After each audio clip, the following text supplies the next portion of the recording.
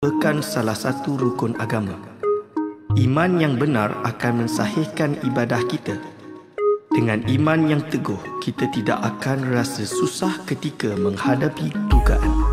Bersama saya Dr. Aiman Al-Akiti menerusi rancangan Imanuna setiap Kamis jam 5 petang hanya di Radio IKIM. Bismillahirrahmanirrahim. Alhamdulillah rabbil alamin wassalatu wassalamu ala asyrafil anbiya wal mursalin sayyidina Muhammad wa ala alihi wa sahbihi ajmain. Assalamualaikum warahmatullahi taala wabarakatuh kepada para pendengar yang masih setia bersama kami di destinasi IKIM pada waktu ini. Alhamdulillah masih bersama kami. Pada waktu ini saya Mona Jasman dan juga Syafiq Salah. Selamat petang sekali lagi buat semua rakan-rakan pendengar sekalian Mona dan hmm. kita nak ucapkan untuk anda juga selamat memandu yang mungkin baru saja pulang dari tugasan masing-masing. Yeah. Doakan uh, semoga anda semua selamat sampai ke destinasi yang ditujui. Dan Mona, seperti apa yang kita wawarkan tadi Mona, kita nak bersama rancangan Imanuna. Seperti biasa setiap hari Khamis petang ini, kita bersama dengan tetamu kita yang dah pun bersedia di konti. Ya, insya-Allah kita bersama yang berusaha Dr. Aiman Al-Akiti, Fellow Kehormatan Institut Kefahaman Islam Malaysia. Assalamualaikum, Doktor. Waalaikumsalam warahmatullahi wabarakatuh. Apa khabar Doktor? دكتور كيف حالك؟ الحمد لله بخير كيف حالك؟ الحمد, الحمد لله بخير كل شيء مزيان؟ آه. على ما يرام؟ على ما يرام تمام الحمد لله الحمد لله نعم إن شاء الله Ha kan Cik cakap Arab juga ni Insya-Allah. Alhamdulillah kita. Insya-Allah. Okey doktor. Dan terima kasih doktor masih lagi uh, luangkan masa bersama kita di IKIM pada petang ini untuk rancangan Imanuna dan sekarang ni juga Mona kita mm-hmm. sedang bersiaran langsung di Facebook Live IKIM FM. Mm-hmm. Anda boleh tonton secara langsung di situ dan kalau ada persoalan-persoalan boleh saja hantarkan di beberapa platform kita Mona. Ya, boleh hantarkan melalui WhatsApp konti pada waktu ini 01129 004 004 mm-hmm. dan juga tinggalkan soalan anda di FB Ikim FM. Baik Mona, kita dah pun ada tajuk yang kita nak bincangkan pada petang ini. Kita nak berbincang dengan tajuk penghapus dosa kecil. Ha, kalau mm-hmm. minggu lepas kita bincang dengan dosa kecil dan dosa besar kan. Tapi kali ini kita kecilkan sikit apa penghapusnya. Mungkin ada amalan-amalan yang boleh kita laksanakan yeah. dan juga pautan teguh iman kita ini untuk boleh menghapuskan dosa-dosa kecil itu kan ya dan untuk mukadimahnya silakan doktor Okey, bismillahirrahmanirrahim. Alhamdulillahirabbil alamin. Assalatu wassalamu ala asyrafil anbiya'i wal mursalin wa ala alihi wa ashabihi ajma'in. Wala hawla wala quwata illa billahil aliyil azim. Allahumma la sahla illa ma ja'altahu sahla wa anta taj'alu hazana idza syi'ta sahla. Rabbi shrah li sadri wa yassir amri wahlul 'uqdatam min lisani yafqahu qawli amma ba'du kepada yang terhormat yakni Datin Mona kepada saudara Syafiq Saya. kepada segenap ahli akademik di Institut Kefahaman Islam Malaysia dan kepada segenap hadirin wal hadirat hafizakumullah yang ikut mendengarkan uh, program Imanuna pada petang hari ini dan sentiasa istiqamah mm-hmm. insyaallah kita pun istiqamah niat untuk menuntut ilmu mm-hmm. insyaallah hadirin Insya wal hadirat hafizakumullah. Uh, hari ini kita akan meneruskan pengajian kita yeah yang mana sekarang adalah sambungan sama seperti bacaan kitab uh, Aqidah Ali Iman. Karangan Sayyidi Abdul Qadir Al-Fasifiri. Qala mu'allifu rahimahullah wa nafa'ana bihi wa bi ulumihi amin. Wa dhunubu kabairu wa saghairu dosa itu ada besar dan kecil. Ini kita dah syarahkanlah pada minggu lepas wa saghairu tumha bi ijtinabil kabairi wa bil hasanati iaitu dosa kecil boleh terhapus dengan menjauhi dosa besar dan dengan melakukan kebaikan. Wala naqulu biluzumil muwazanati bainal hasanati was sayiat. Kita tidak berkata bahawa berat antara kebaikan dan keburukan itu mesti ditimbang secara pasti. Bal al-abdu idza ata bihasanatin amsalil jibali walahu mukhalafatun wahidatun fahuwa marhunun biha iaitu apa? Akan tetapi hamba akan datang dengan kebaikan-kebaikannya semisal gunung dan dia memiliki satu kesalahan sahaja, maka dia akan menanggungnya. Berarti setiap apa yang kita buat baik ataupun buruk, semuanya kita kena tanggung. Lalu nasib dia macam mana? Imma ayyaghfurallahu ayyaghfurallahu iaitu sama ada Allah SWT mengampunkannya au yu'akhidahu atau Allah Subhanahu wa taala menyiksa disebabkan oleh dosa tersebut summa yukhraju minan nar lalu orang tersebut uh, orang tersebut akan dikeluarkan daripada api neraka berarti dia akan masuk syurga. Hadirin wal hadirat hafizakumullah. Dalam hal ini jelas bahawa muallif menjelaskan kepada kita semua bahawa apapun yang kalian lakukan, apapun yang kita lakukan, baik dan buruk, segunung kebaikan, contoh dia, ada dosa yang sebutir, dosa itu masih perlu kita tanggung. Ha, ibarat dia macam itu. Masih perlu kita tanggung dan bertanggungjawab atas dosa tersebut.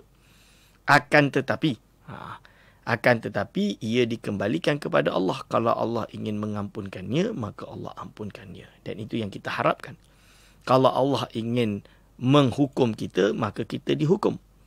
Barulah kita dikeluarkan dari api neraka dan masuk ke dalam syurga. Ini adalah harapan kita.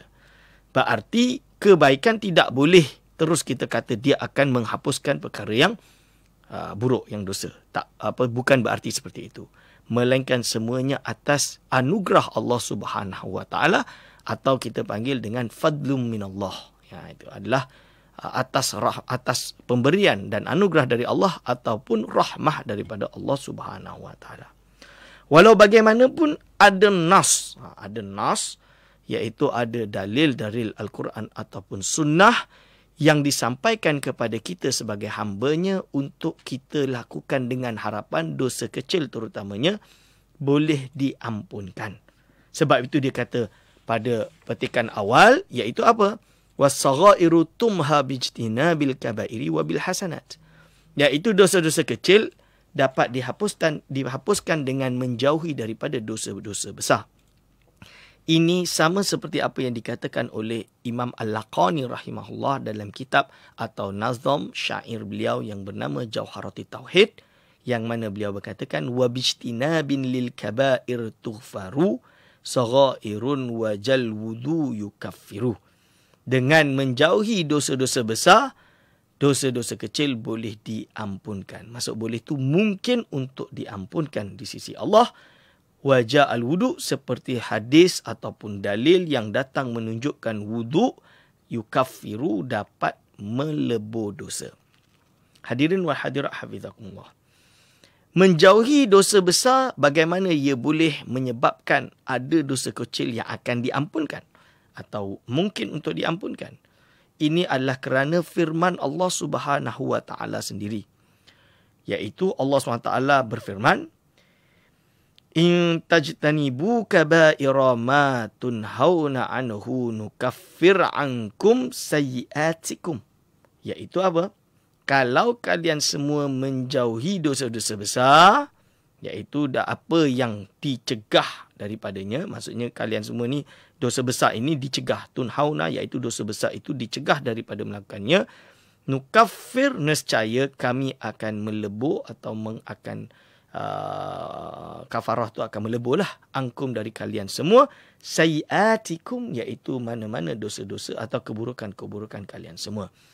Iaitu surah An-Nisa ayat 31 ulama mentafsirkan yang dimaksud dengan sayiatikum ke- keburukan kalian semua adalah ay as-saghaira iaitu dosa-dosa kecil. Ha itu dosa-dosa kecil.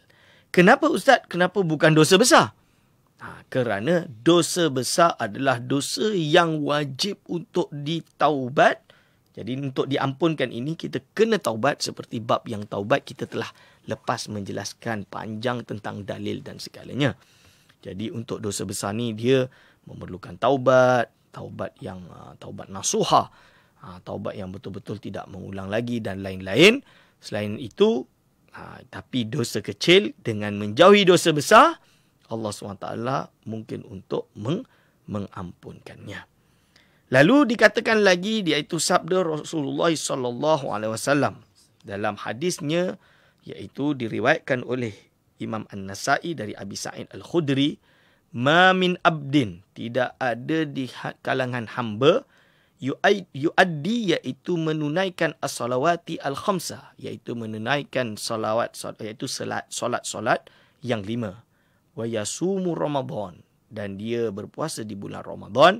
Wa yajtanibu al-kaba'ira as-sab'ah.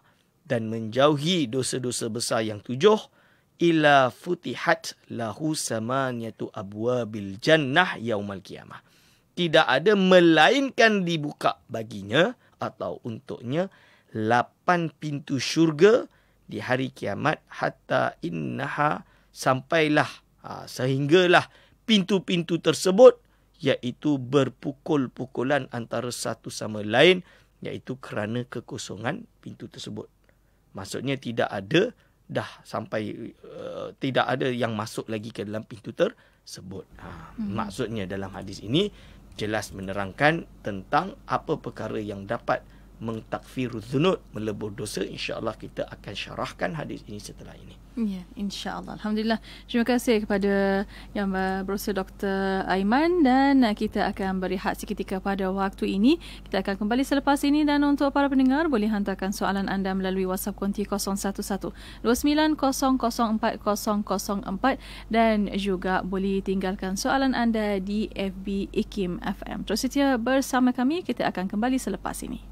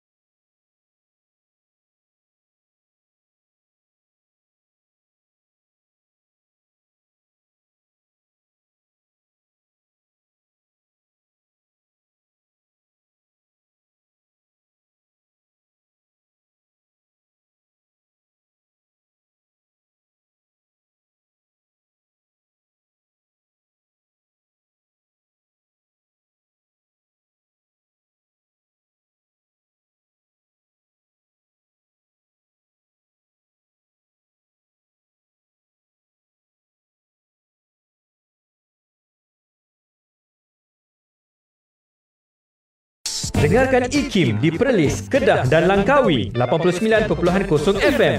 Inspirasi Inforia Islami.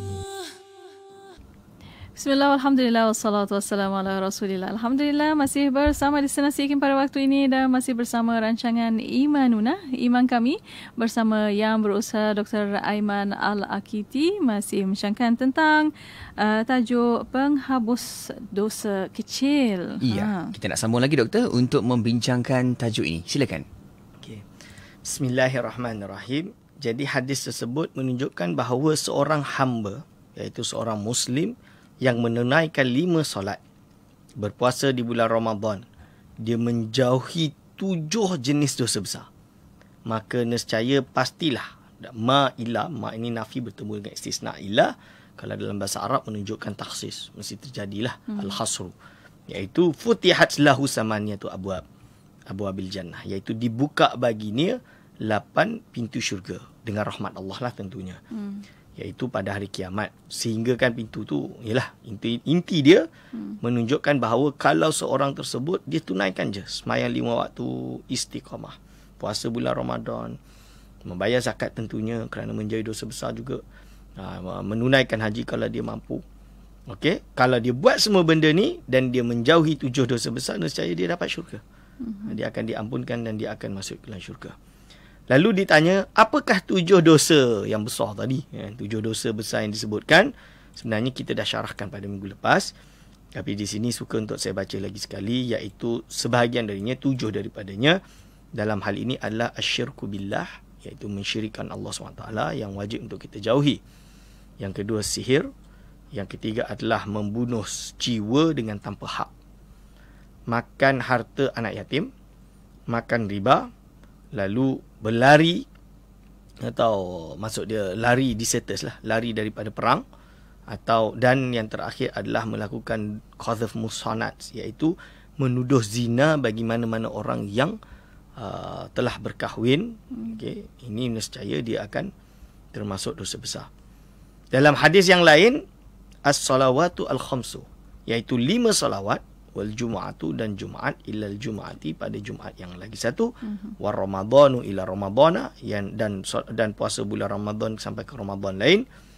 Nah, itu adalah mukaffiratun ada perkara-perkara yang dapat apa melebur atau melebur dosa. Lima bainahunna yang mana apa yang terjadi di antara kedua-duanya. Idza ujtunibat ketika seorang itu menjauhi atau menjauhi daripada al-kabairu iaitu dosa-dosa besar. Hari ini wahadir hafizakumullah hadis ini adalah hmm. hadis riwayat Muslim daripada Abi Hurairah. Hmm. Berarti kalau manusia ni kalau nasihat saya lah dia ambil simple life. Tak perlu kaya sangat, gila sangat kerja nak jadi billionaire. You know, cukup untuk hidup menjauhi tujuh dosa besar yang telah saya sebutkan tadi. Solat lima waktu, puasa bulan Ramadan, bayar zakat sesuai yang dia berkewajipan untuk membayarnya. Mm-hmm. Kalau mampu pergi haji, misalnya dia, insya-Allah syurga dia dapatkan. Sebab itu dalam kitab-kitab ilmu kalam dia ada sebut satu kaul, satu ucapan ulama iaitu aksaru ahli jannati al-bulhu. Kebanyakan ahli syurga adalah orang-orang yang bulhu ni awam lah boleh sebut macam tu. Mm-hmm. Orang-orang yang awam. Sebab dia nak hidup simple life. Tak perlu kita ni nak jadi hero. Hari ini semua orang konon nak jadi hero, nak jadi savior, nak jadi mesayah. Ha, ini bahaya. Semua nak bercakap, semua nak merubah dunia. Kita tak boleh terlalu eager, terlalu apa memaksa diri, terlalu terlalu menolak diri untuk merubah dunia mm-hmm. ketika perkara tersebut mungkin akan menyebabkan kita terkeluar daripada landasan yang betul. Mm. Jadi orang yang biasa sebenarnya lebih bagus saya sendiri hati saya kalau nak suruh oh, kena buat ni buat tu kena macam-macam. Macam-macam yang kita misi kita nak buat visi dan misi untuk umat. Hmm. kononnya untuk umat. Tapi kadang-kadang takut yang keluar dalam hati ini adalah kesombongan nak cari syuhrah uh, fame nak cari yang perkara-perkara yang merupakan penyakit hati. Takut terbalik niat tersebut. Jadi bukan lagi untuk kebaikan umat tapi yang adalah adalah untuk memperkenal diri untuk syahwat untuk perkara-perkara duniawi. Nauzubillah min zalik ini yang kita harap dijauhkan dari diri kita. Paling senang hidup macam orang biasa. Pergi sawah pagi, balik siang, solat, mm tu rehat, solat, masak petang, makan, makan simple-simple, malam, maghrib, ajar anak baca Quran, solat maghrib, solat isyak, habis isyak, istirahat, tidur, bangun pagi, solat tahajud sekejap, solat subuh, lepas subuh, sarapan, lepas sarapan, pergi sawah, cucuk tanam sampai siang, balik solat zuhur. Tiap-tiap hari dia buat tu, dia baca Quran. Ah itu. Hmm. Alhamdulillah. Masuk syurga. Ya. Ha, tak payah susah-susah. Amin. Ha, okey, lalu apa dia sebut lagi? Waqad ittafaqu ala tartubi takfiri ala ijtinabi sumakhtalafu hal huwa qat'iyun adh-dhaniyun. Lalu ulama sepakat bahawa mungkin terjadi iaitu pelebur dosa, iaitu pelebur dosa dengan menjauhi dosa besar ini. Akan tapi ulama berbeza pendapat. Apakah dileburkan dosa ini perkara yang iaitu qat'i yang pasti atau dhanni. Dhanni itu sangkaan sahaja. Hmm. Kerana ini daripada al-Quran, ini citani bu kabairah. Ha, ini yang sebut saya sebut dari surah An-Nisa tadi itu Quran. Jadi jelas sahih lah. Iaitu subutul wurud. Akan tetapi ulama berbeza pendapat. Menurut jama'atu minal fuqaha iaitu sebahagian golongan besar di kalangan ulama fuqaha, ahli-ahli fiqah, wal muhaddisin dan ulama hadis dan sebahagian daripada Mu'tazilah mengatakan ilal al-awwali iaitu pendapat benda ni qat'i mesti. Mm-hmm. kalau dia menjadi dosa besar mesti diampunkan. Dosa tersebut. Ha, wa dhahaba a'immatul kalam ila thani.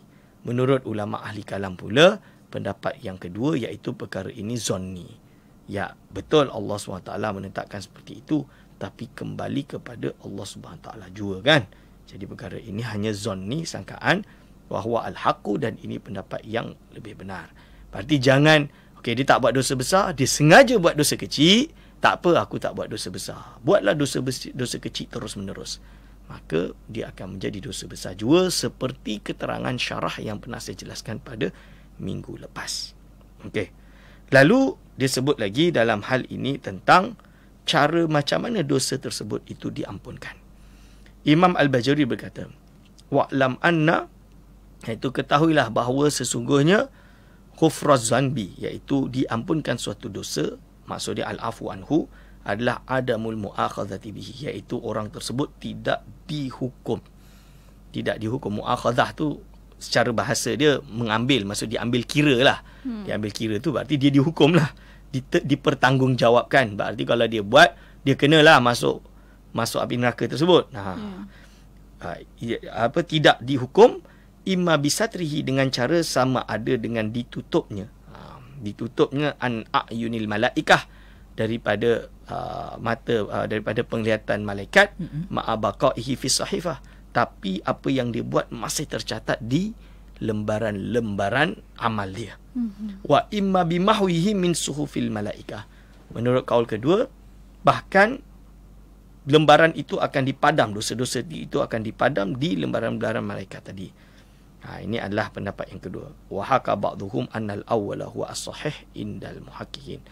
Ha, dan menurut sebahagian ulama menceritakan bahawa pendapat yang pertama iaitu memang kejahatan yang dia buat itu dicatat dalam lembaran itu masih ada. Tapi Allah menutup atau membuat para malaikat itu tidak mencatatnya atau hmm. tidak bukan tidak mencatat tidak melihatnya. Ha, inilah pendapat yang sahih menurut muhaqqiqin dalam kitab Tuhfatul Murid karangan Imam Al-Bajuri. Ha, lalu dia jelaskan iaitu wajah al-wudu yukaffiru. Begitu juga ada hadis menerangkan wudu itu dapat melebur dosa. Ha. So macam mana tu? Ha, dalam hal ini iaitu ada sebuah hadis yang mana hadis dari Osman bin Affan berkata bahawa aku mendengar Rasulullah sallallahu alaihi wasallam bersabda iaitu apa seorang itu tidak menyempurnakan wudunya kecuali Allah Subhanahu wa taala telah mengampunkan baginya apa yang telah lalu daripada dosanya dan apa yang akan datang. Hadis ini adalah diriwayatkan oleh Imam Al-Haythami dalam kitab Majma'ul Zawaid. Mm-hmm. Itu salah satu kitab uh, hadis yang terkenal dan juga Imam Munzir dalam Tarhib dan Tarhib dan Imam Haythami mengatakan bahawa hadis ini diriwayatkan oleh Al-Bazzar yang mana rijalnya iaitu perawi-perawi hadis tersebut itu adalah yang dapat dipercaya dan hadis ini adalah hasan insya-Allah. Mm-hmm. Okey, itu adalah jadi apa? Dosa ni dapat juga menghapus dosa tuan-tuan dan puan-puan. Wuduk, sorry. Dosa dapat ampun dosa pula. Wuduk, Wuduk. dapat mengampun do, dosa. Wuduk dapat mengampun dosa, dapat maksudnya dapat meleburkan dosa, mengyukaffiru dzunub. Ha, dapat menanggalkan dosa-dosa kita. Mantap dalam hadis yang lain. Ha, hadis yang lain pula iaitu hadis ini riwayat Abu Daud dalam sunannya tentang dalam kitab Taharah menceritakan bahawa man tawaddaa nahwa wudu'i hadha barang siapa yang berwuduk berwuduk seperti wudukku ini. Lalu summa qama faraka'a lalu dia berdiri dan dia merukuk rukuk rukuk tu maksudnya solat lah. Solat dan rukuk wa rakaat ini dengan dua rukuk ha, dua rakaat. Ha, maka tidak terjadi bagi dirinya iaitu bagi apa ketika dia diri untuk berukuk dua solat tadi hmm. iaitu suatu apapun perkara yang buruk ha, jadi dia tak buat benda buruk lah antara benda tu. Hmm. ha, maka ghufira lahu ma taqaddama min zambihi. Maka diampunkan baginya segala apa yang terdahulu daripada dosa-dosanya. Ha, ini jelas kan? Jadi Ya. jelas tentang wuduk juga dapat mengampun dosa insyaallah kita sambung setelah ini Hmm, InsyaAllah. Alhamdulillah. Terima kasih doktor dan kita beri hasil ketika pada waktu ini. Kita kembali selepas ini dan para pendengar terus hantar soalan anda melalui WhatsApp konti 01129004 dan juga di FB IKIM FM. Kita berehat seketika kembali selepas ini. Kapsul ini dibawakan oleh KWSP. Berapa jumlah penama ahli yang boleh dinamakan untuk menguruskan simpanan dia? Boleh tak lebih daripada satu? Kalau untuk individu tidak ada had. Ahli boleh namakan seberapa banyak yang dia nak lah. Tapi nak berbalik semula kepada macam saya tekankan pada minggu lepas ya. Aha. Kena faham yang dinamakan tu adalah pentadbir. Pentadbir, betul. Bukannya pemilik. Kita, Hmm. Macam saya tekan dulu kan. Ah, betul. cari orang yang boleh dipercayai. Ya, betul. orang yang yang sihat dari segi fizikal dan mental. Hmm. So itu yang paling utama. Yang mampu jalankan tanggungjawab. Ini nak sambung lagi uh, Puan Farizan Ha. Tadi yeah. Ya. cerita tentang penama dan sebagainya Kita sentuh pula tentang hibah mm. Macam mana pula kalau hibah tu tak selari Dengan penama KWSP Ha. Yang penama KWSP dia buat nama lain. Tiba hibah pun ada pula. Yang, nama, yang lain pula. Penamaan di KBSP dia mengatasi wasiat ke hibah yang dibuat mm-hmm. untuk simpanan EPF ni simpanan KBSP ni. Jadi bila berlaku kematian kita akan tengok kepada penamaan kita akan tengok kepada surat kuasa mentadbir ke apa ke. Katalah ditakdirkan uh, dia ada buat hibah. Okey. hibah tu katalah you ada buat hibah. Mm-hmm. berlaku kematian hibah tu hanya boleh terpakai jika ahli waris ahli yang meninggal bersetuju dengan ah. hibah yang dibuat. Tapi Ah. kalau mereka tak setuju, pergi faraid.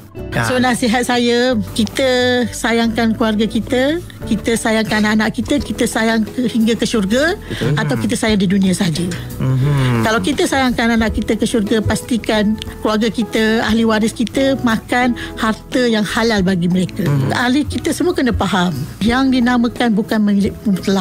Ya. Yang dinamakan hanyalah pentadbir. Ya. So pastikan benda tu biar ahli waris kita makan benda yang halal bagi kita. Untuk maklumat lanjut, anda betul saja ke Facebook KWSP Official. Betul puan eh? Betul betul. Okey betul. Terima kasih puan. Terima kasih banyak. Assalamualaikum Okey, Assalamualaikum. Waalaikumsalam. Kapsul sebentar tadi telah dibawakan oleh KWSP. Nasyid memberi hiburan yang mendidik jiwa. Nasyid memberi ajaran dalam bentuk muzik. Nasyid memberi penghayatan agama Islam. Anda boleh menyaksikan Anugerah Nasyid Iklim 2019 secara langsung menerusi laman web www.ikim.my atau di FB Live Radio Ikim pada 30 November 2019, Sabtu jam 9 malam. Saksikan 12 penyanyi dan kumpulan membuat persembahan nasyid terbaik di Malaysia. Antaranya Izinkan Adib Nahar. Jalan keluar. Rabita. Satu dalam perjuangan. Taujana. Untuk maklumat lanjut, teruskan mendengar Radio IKIM atau layari www.ikim.my. IKIM, inspirasi inforia Islam. Anugerah Nasyid Ikim 2019. Balik Pulau Pulau Pinang 102.7 FM.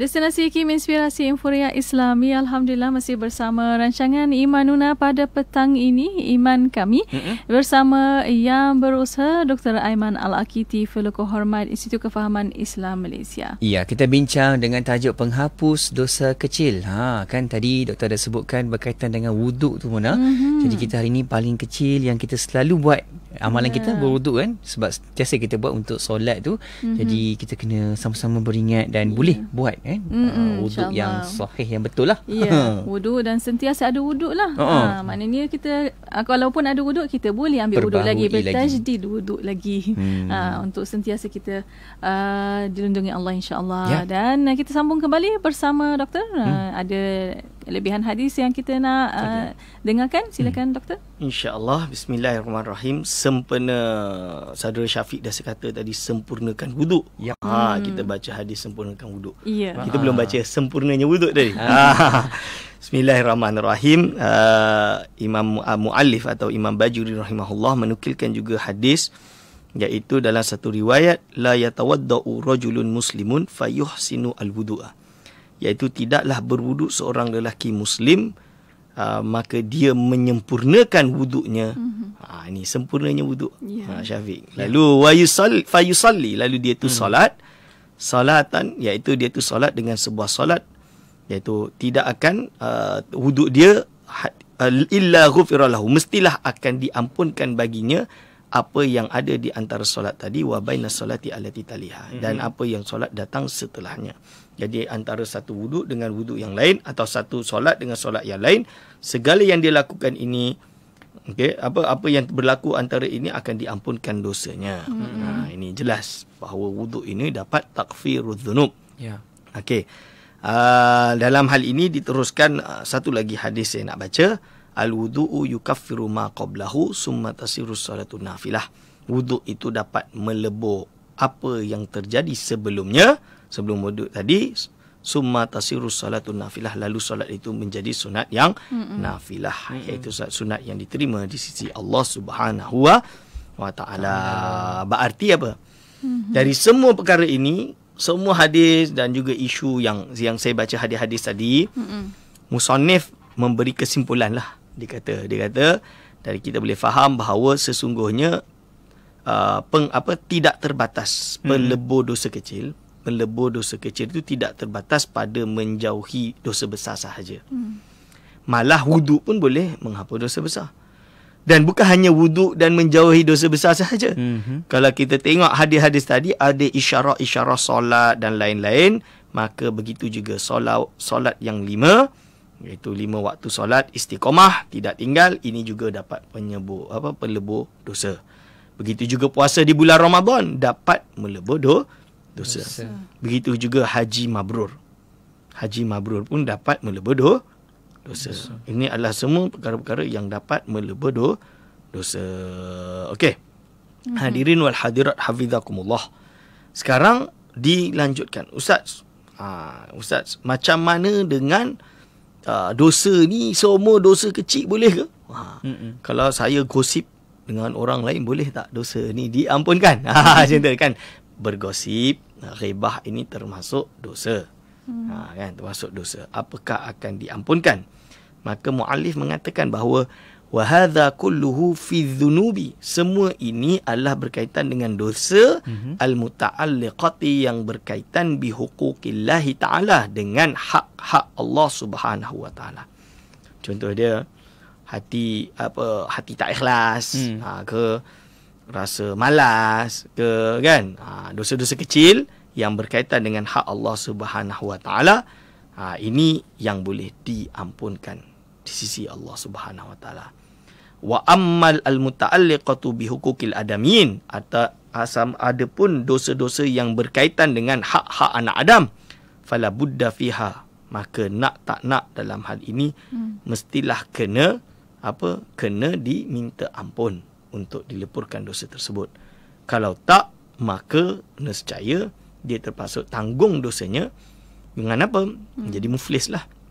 Jadi muflis tu maksud dia orang yang kita zolimi tadi, yang kita hina dan kita burukkan tadi akan mengambil pahala amal kita. Yeah. Ha ni sebab itu bahaya jangan ghibah. Kalau ghibah nanti dosa kita akan diambil mm-hmm. eh pahala kita akan diambil yeah. oleh dia Ya. Nah ini contoh dia akhirnya sampai muflis nauzubillah min zalik. Begitu juga sebaliknya bukan hanya masalah ghibah, menuduh fitnah ini termasuk dosa besar. Mm-hmm. Ha, termasuk dosa bukan besar lah main besar tapi mm. besar antara kita dengan orang lain maksudnya. Ya. Yang mana kita tuduh dia ha, melakukan sesuatu padahal dia tidak buat. Oish. Hmm, fitnah syaitan Ah, ini boleh makan kan makan daging daging sama saudara muslim. Ya. Auzubillah min zalik. Ha, maka dari segi ini kita jangan mudah menuduh orang. Ha, terutamanya menuduh benda-benda yang kita tak ada bukti. Hmm. Paling paling saya susah hati hari ini adalah tuduh menuduh melakukan sihir dan lain-lain tu saya paling susah sikit-sikit kata oh ni hantar ni ni hantar ni mana tahu Hmm. Ha, bomoh tu kata, "Ish, nauzubillah min za." Salik itu namanya dah menuduh. Mana bomoh tu tahu? Mm-mm. Dalam hadis man ata arafan barang siapa yang mendatangi orang-orang yang macam ni lah, fortune teller ke atau yang mendatangi orang yang oh ni yang ni ni yang tu. Hmm. Ha, padahal Rasulullah SAW dah bersabda bahawa orang seperti ini tidak diampunkan dosanya atau amal ibadatnya tidak diterima. Ya. Ha, itu ancaman daripada Allah SWT. Jadi hmm. jangan mudah menuduh. Ha, jangan mudah menuduh. Kalau kita diuji, yang kita boleh buat, tingkatkan keimanan kita, tingkatkan ibadah kita. Kita kalau kita rasa kita kena sihir, kita berdoa kepada Allah untuk dijauhkan sihir. Hmm. Mungkin baca Quran tak cukup banyak. Hmm. Ya. Bacalah Quran, baca Hizib Nasr, Imam Syadzili baca, baca hmm. Hizib Bahar, Imam Syadzili baca, baca wirid-wirid banyak ahzab-ahzab atau hizib-hizib yang dikarang oleh ulama, disusun oleh ulama untuk kita baca melindung diri kita. Hmm. Bacalah doa-doa yang Rasulullah SAW telah ajarkan untuk mengelak pada sihir. Itu yang dibaca banyak, bukan kita cari siapa yang hantar ni. Hmm. Macam mana nak tahu siapa yang hantar? Nanti orang tu kata orang ni buat, ni orang tu kata orang tu buat, ni semua yang buat. Kalau dia orang semua tak buat, mungkin dia orang hanya jealous, tak suka tapi dia tak buat, tak ada hantar sihir, kita tuduh dia hantar sihir. Hmm. Nauzubillah min zalik itu namanya menuduh. Hmm. Ha, ini besar kita di akhirat nanti ditanya kenapa tuduh dia hantar? Dia tak hantar pun. Kenapa hmm. nak buat? Oh, si fulan yang kata, kenapa kau pergi jumpa si fulan? Hmm. Ha, kenapa kau pergi jumpa si fulan? Padahal Rasulullah SAW dah larang. Mana ada yang tahu? Tak ada yang tahu melainkan Allah Subhanahu Wa Taala. Rasulullah SAW yang kena sihir pun dan diberitahu oleh malaikat Jibril. Hmm. Tu jelas malaikat Jibril yang bagi tahu. Itu pun dia tak berani tuduh. Ni Rasul. Ni Rasul. Ha, itu pun dia tak berani tuduh. Ha, tapi hmm. kalau dah pada hari ini oh semua nak jadi hero, semua tahu siapa yang buat. Nauzubillahi min za- zalik. Okey. Hmm, Alhamdulillah. Mm-hmm. Terima kasih uh, doktor dan ada soalan mm-hmm. di FB uh. Ikim FM pada waktu ini. Betul. Mhm, boleh kita bacakan? ada sahabat kita ni Jannah Ahmad di Facebook Go Live bertanya, um, doktor, bagaimana hanya orang yang telah melakukan dosa besar tapi bertaubat dan melakukan semua ajaran agama? Hmm, Bagaimana? Maksud apakah diterima ke tak? Hmm. Kita berharap insya-Allah dia diterima. Kerana apa? Dia buat dosa besar. Sedosa besar contoh dia. Hmm. Ialah apa-apa dosa besar. Hmm. Minum khamar ke, meninggalkan solat ke ataupun nauzubillah min zalik apa berzina ke nauzubillah min zalik. Hmm. So semua hmm. perkara ini kalau dia dah bertaubat dan dia dah melakukan semua ajaran agama, ini adalah dosa yang berkaitan antara dia dengan Allah Subhanahu wa wa taala. Dan kita harapkan insya-Allah taubatnya diterima sesuai dengan syarat-syarat taubat pada sesi pengajian kita yang mana kita membahas tentang syarat taubat hmm. dan cara-cara melebur dosa-dosa besar iaitu kalau Allah SWT terima dengan rahmatnya insya-Allah kita dia, dia diterima. So inti dia jangan putus asa. Jangan bila dah terbuat dosa besar nauzubillahi min zalik you know, dia dah putus asa biarlah aku dalam keadaan lembah mm-hmm. kejahatan aku dalam lembah kegelapan mm-hmm. ha, lalu dah tak ada harapan kononnya untuk kembali ke jalan yang betul jangan mm. Allah SWT sentiasa menerima taubat hambanya yang ikhlas dan nasuha yang tidak diulang lagi seorang seperti ini insya-Allah kita sama-sama doa taubatnya diterima dan dia diterima untuk masuk ke dalam syurga Allah Subhanahu wa taala. Amin ya rabbal alamin. Dan uh, untuk waktu ini tinggal sedikit masa lagi doktor untuk uh, pesanan uh, dari doktor uh, dan kata-kata terakhir dan kesimpulan silakan. Jadi bismillahirrahmanirrahim untuk masalah menghapus dosa besar ini, eh maaf dosa kecil ini, kesimpulan dia adalah uh, kita dituntut untuk menjalani agama kita dengan istiqamah mm-hmm. dan berusaha untuk menjauhi dosa besar dan dosa kecil terutamanya dosa kecil dosa besar insyaallah kita jauh dan hmm. itu lebih penting lah yeah. tapi yang perlu kita telitikan dosa kecil ni jangan sampai kita buat dan kita jangan putus asa dan sentiasa melakukan perkara-perkara yang dituntut dalam agama walaupun se, se seringan simple je solat lima waktu hmm. puasa Ramadan bayar zakat ha, pergi haji sekali je seumur hidup ya, ah ha, ini je buat ni je concentrate hmm. semua benda ni InsyaAllah Allah SWT membuka pintu syurganya kepada kita. Itu je kita harap. Mm-hmm. Sebab kita takut nak masuk pintu neraka. Betul? Yeah, betul. Ha, saya takut, semua orang takut. Yeah. Ha, jangan jadi sombong pula. Tak apa, saya nak try. Oi, ah.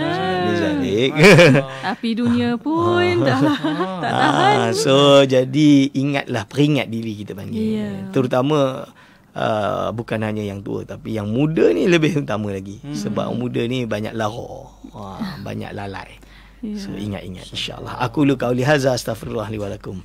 Alhamdulillah Rabbil Terima kasih banyak-banyak pada yang berusaha Dr. Aiman Al-Akiti. Jazakallah anakullah khair. Mm-hmm. InsyaAllah kita jumpa lagi Dr. Assalamualaikum. Waalaikumsalam warahmatullahi wabarakatuh. Alhamdulillah. Itu dia Mona. Rancangan mm-hmm. Imanuna yang bersiaran di setiap hari Kamis jam 5 petang ini. Dan uh, juga untuk anda yang nak dengarkan kembali ulang siar rancangan ini. Boleh dengarkan kembali setiap hari Ahad jam 10 pagi. Dan para pendengar terus setia bersama kami di IKIM Inspirasi Inforia Islami. Mahukan pelbagai informasi terkini? Teruskan bersama kami di IKIM Inspirasi Inforia Islami.